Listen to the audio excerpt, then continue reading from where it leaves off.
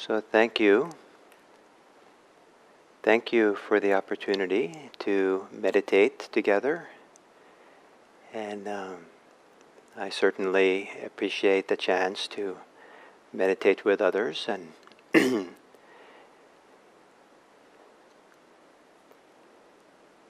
so uh, this week in these morning talks the theme is the Pali word saddha, S A D D H A, often translated into English as faith, sometimes as confidence, and sometimes as conviction. And today I'd like to talk a little bit about the aspect of saddha that fits the English word conviction. In my vocabulary, the word conviction is a very powerful word. In fact, I, I feel some caution around the word conviction because if someone has a strong conviction about something, it can be a little dangerous. They could just go ahead and do what they feel is right, um, regardless of what other people, the impact on other people. And conviction can also be uh, quite inspiring because it's the strength of confidence, of belief in something that uh, can uh, really override a lot of the obstacles that might arise in a person's life or obstacles for the activity they're doing. And conviction can give effort, the things we try to do, a sense, sense of persistence in spite of the difficulties. And so when this word saddha has a very strong association in Buddhism with an activity, the activity of practice, the activity of spiritual development and growth, the activity of uh, being mindful and present for our experience and to have a strong conviction that this is valuable is uh, really then allows a person to persist, rain or shine, to persist whether it's easy or whether it's difficult. Because the conviction, really clear, it's certain. There's a certainty in conviction. Now, the English word conviction um, you know, is a has a Latin root, meaning uh, uh, kind of to conquer, to conquer with something. Uh, the uh, con means with, and the uh, viction is like victory or victor. Uh, is a Latin word, vicere, I think, and um, to conquer, to win, and in the circles that I travel, where we circles of English-speaking society, there's been a strong uh, tendency to want to downplay uh, war imagery or metaphors for Buddhist practice because it seems violent. And but in fact, we find in in uh, Buddhism that the metaphors of war uh, are often used uh, in uh, in Buddhism but not for purpose of war, not for the purposes of violence, but to emphasize, I think, the the sometimes the heroic effort that's needed, the strong effort we need to overcome things which are afflictive, overcome aspects of our inner life which are causing harm. And we certainly don't want to be uh, be. Um, I think the danger of this war kind of metaphor of conquering is uh, sometimes reinforces the idea some people have that part of who they are is wrong or bad or and it kind of reinforces a self-criticism or a self-deprecation that many people are struggling with already. And so we have to be very careful with this language. But uh, maybe occasionally it's useful to use it. And um, and that uh, this idea of um, conviction arises in Buddhism uh, when someone has overcome challenges, especially their own psychological challenges having to do with some forms of clinging or attachment that they have, some form of craving or being caught or entangled. When I first started, first years in which I was doing Buddhist practice, I was kind of in awe of uh, from time to time when my meditation got um, uh, my mind got soft enough, quiet enough, still enough in meditation that the thoughts and feelings and motivations that I had been entangled with and swirling with and caught up in and agitated in in everyday life quieted down. And to feel the quiet and peace that was absent of those that swirl and agitation it felt like a homecoming. It felt like now I'm really myself. Now I can breathe. There's breathing room for me here. And now I'm no longer in a certain way distracted from myself, distracted from life. I'm here in a full way. And what had happened in the one way of understanding what had happened in the course of those meditations is that I had overcome or settled or conquered temporarily uh, these forces that had, that were, had uh, had in the past conquered me.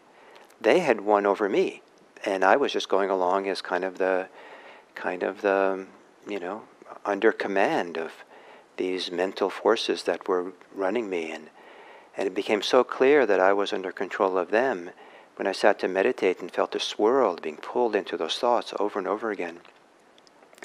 And so to no longer be caught by those and to have overcome them, become free of them, was really uh, eye opening to me. And I became convinced that this was possible. I had a clear sense that uh, I didn't have to live in the agitated mode the rest of my life. I became, uh, had a conviction that yes, there is another way. And, um, and that other way is to, you know, we could say to become free of those Another way of saying it is uh, to have conquered them, to have uh, somehow got the upper hand over them. And the advantage of using words like conquer is it really implies a, a strength and a power um, of certainty, a power of practice, a power of presence. Whereas freedom has a feeling that it doesn't necessarily imply that. It just means like now nothing's bothering me um, and I can just go along as I did before. But if there, if we really have become stronger through the practice, then the practice is more portable. We can meet further obstacles and have the conviction, yes, I can do this. I can practice through this. The um, um, but remember that uh, this idea of uh, conviction that I'm talking about today is comes in the wake of really seeing the difference between being caught and not being caught. And that that's what gives born to conviction. is not a conviction necessarily in a creed or a belief, but rather in a possibility of personal transformation, of change. In uh, uh, the Buddha's uh, teaching, uh, he has a particular word that could be translated as conviction, that's related to the word saddha. It's a, it's a partner to saddha. It's faith that has been confirmed, confirmed faith. And uh, the word is avecca pasada. And um, avecca means uh, something like, comes out of the word to know something, to know something for yourself. And uh, pasada refers to a kind of faith or confidence that is uh, peaceful, that has a serenity or a, or a peacefulness to it. And uh, some translators translated it as unshakable confidence, um, maybe unshakable conviction.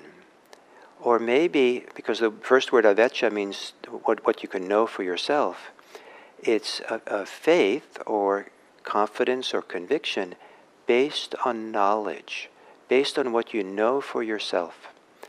And this idea that it's unshakable, like now I know this is possible. I ha- don't necessarily, have, I haven't necessarily, not always, not always in touch with it. I don't really, I'm not there always.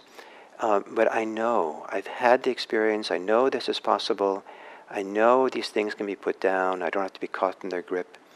And then be, have conviction yes, this is worthwhile. Be on a path to become free of this. One of the reasons I liked, uh, especially this week, uh, the word conviction and its association with conquering is that um, uh, sometimes the challenges we live under are huge. Sometimes people, you know, get sick and have stage four cancer and have all kinds of personal challenges and and losses in their life, or there's they live in war zones, or they live in uh, in times of social crisis, like we are now, in a sense, with uh, uh, this COVID nineteen virus, and where our whole society is really turned upside down, dis- been disrupted, and so much of the life, and especially in places like here, where we're in the Bay Area, where we're sheltered in place, where there's a, a laws put in place that tell us you have to stay home, and except for essential, you know, things to go out. That that's, that's a huge disruption in our life, and in this time and place, what is called for? What is it that we really want to muster and arouse within ourselves, and what is becomes most important? And um, and if we're cha- the more we're challenged, the more we're upset or afraid or distressed by all the changes that we're facing, um, uh, the greater is the value of conviction. I know something, I know, I believe, I value, I have faith in something different than the conviction that fear should drive drive the car. I have conviction that something that I don't that I don't have to kind of live in the distress and act and be motivated by my distress. There is another way. So to have faith and confidence that has power in it so that we're willing to engage our practice, to be honest and clear and present and compassionate for our experience of this life. That we, that's the direction to go. That's what we want to base our life on. That's what we will base our life on, rather than mindlessly perhaps or habitually succumbing to some other forces which are not beneficial for us. To have conviction in doing what is beneficial, to have conviction that there is a possibility of freedom and overcoming the obstacles we live under, especially those that are psychological obstacles we have. It's not easy, it takes time, it takes patience, it takes love, it takes compassion. It takes a lot of care and but it's worthwhile. And I hope that uh, as you develop and continue in your practice, that you also will develop a peaceful, maybe even happy conviction in the value of your practice. Thank you.